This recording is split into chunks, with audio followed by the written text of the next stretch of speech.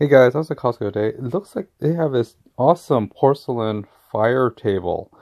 At first I thought it was just a lazy Susan on top of it, and then lifting it, basically it is a, well, it's not lazy, not only that doubles as a lazy Susan, basically so you can serve stuff, but it actually it's a fire table, so you basically you can put uh, propane through that and have a really warm fire table at, you know, outside with summer coming up and spring coming up, yeah, this is pretty awesome.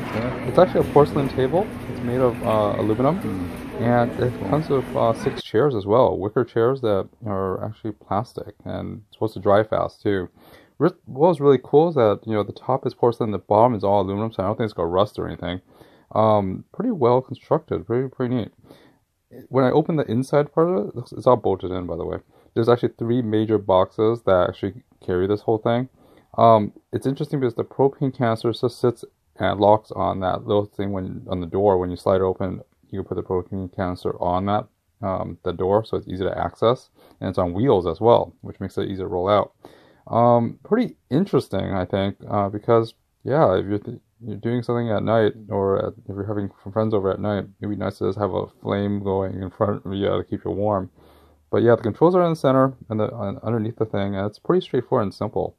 Um, yeah, it was pretty neat. On off. I'm not sure if you could cook on this. I'm pretty sure it's not meant for cooking. Uh, but it's pretty neat and it's concealed itself inside the table. Anyways, guys, thanks for watching.